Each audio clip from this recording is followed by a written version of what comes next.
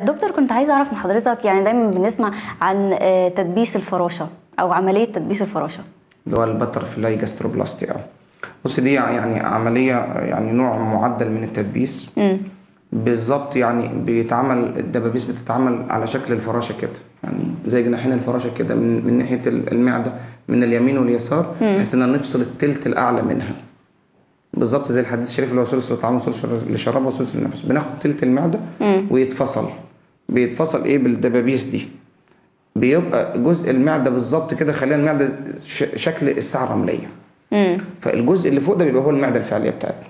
الجزء ده بيبقى صغير جدا بيبقى مثلا في حدود 50 إلى 60 سم 50 ده يعني عارفة اللي كوباية شاي 50 آه. حاجة صغيرة يعني جدا آه. جزء صغير جدا. آه لا ده طبعا بيتمدد مع الوقت. بعد سنة ممكن يوصل لحوالي 200 مثلا.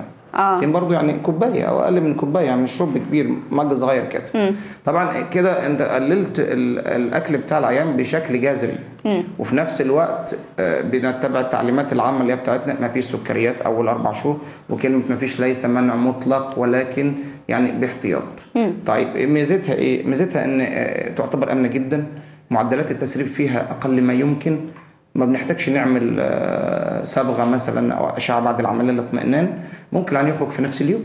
طب مين يعني هل ممكن إنها تتعمل لكل الناس ولا أو كل المرضى ولا في حالات معينة؟ ده ممكن تعمل لكله طبعا. تتعمل لكله بس إحنا بنقول إن إحنا الضرورة تقدر بقدرها يعني ما يجيش عيان مثلا عندي زيادة 10 15 كيلو اعمل له تدبيس مم. 10 15 كيلو قلنا زي ما قلنا ده يا بوتوكس يا بالون يا إما diet لكن إن أنا أخش أعمل له حل جراحي حتى لو هو رغب كده بص أنا ما انسقش ورا المريض. المريض لو عمل حاجة وبعد كده النتيجة ما عجبتوش هيرجع يقول لك آه، طب أنا ما أعرفش حاجة أنت الدكتور بتمشي ورا ليه؟ آه. فإحنا لا يصح إلا الصحيح. إحنا بنقول آه، مش اللي يعني عندنا في قاعدة patient first يعني المريض اولا.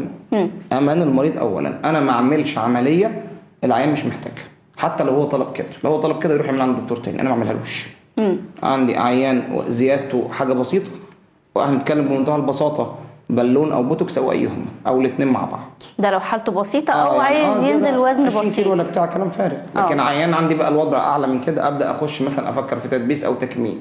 عيان أعلى من كده أبدأ أفكر في تحويل مسار. عيان آه over وفي حاجة مثلا معينة بخش بقى في عمليات تانية زي ال SADI-S وعمليات أخرى يعني ما بنعملهاش بكثره يعني. لكن هو ال ال ال ال الصورة العامة كتدبيس لا تدبيس الفراشة ممكن يتعمل في أي وزن. نظريا ما فيهوش ادنى مشكلة. بس إحنا بنقول ما نعملوش لعيان مش محتاجه لكن العيان مثلا افترض إن العيان زي مثلا 40 كيلو مثلا أو مثلا عيان آه، عمل بالون ومثلا آه، ما ارتاحش في البالون حاسس إن هو مش مش مبسوط فيه أو ما قدرش يعمل diet معاه. أو جاله حساسية أو الجسم رفض البالون مثلا أو البالون انفجر ك- حاجات دي حاجات rare جدا يعني احتمالية حدوثها يعني بتاع واحد في الألف مثلا. آه. لكن أو عيان مثلا آه، جات له مثلا واحد زميله عمل العملية دي وعاوز يعمل زيه. مم. فخلاص بنقول أوكي مفيش مشكلة. لكن آه، آه، إحنا بنبص لاحتماليات إيه؟ إن أنا هعمل هدخل عيان عملية ويبقى فيه تخدير ويبقى فيه جراحة وفيه دباسات بينما أنا ممكن أعمل له حاجة مبسطه جدا وتدي نفس النتيجة. يعني العيان اللي هو عنده زيادة 20 كيلو ده هيخس كام؟ يوم ما يوم ما يخس ال 20 كيلو ده يبقى خس 100% من وزن أيوة، إزاي أكيد هو مش. هيخس ال 20 كيلو مم. هو يخس منهم مثلا آه، 14 15 كيلو. طب أنا أعمل له عملية كبرى عشان خاطر أنزله 15 كيلو؟ وممكن ينزلهم بالدايت. ده مش منطق ده مش منطق يعني. وحتى لو عملنا كده هيبدأ يخس بعد كده ويوصل لمرحلة نحافة. يعني هيخسهم مش هيخس بقى كده 15 يدور ده. هيكمل بعد كده. هيجي بعد كده يقول لي أنا عاوز الغي العملية. آه. خلي بالك حضرتك إحنا عندنا في عمليات ممكن تتلغي وعمليات ما تتلغيش يعني مثلا عمليات الفراشة دي ممكن تتلغي. مم. واخد بال حضرتك؟ في عمليات تانية في عمليات ما ينفعش تتلغي.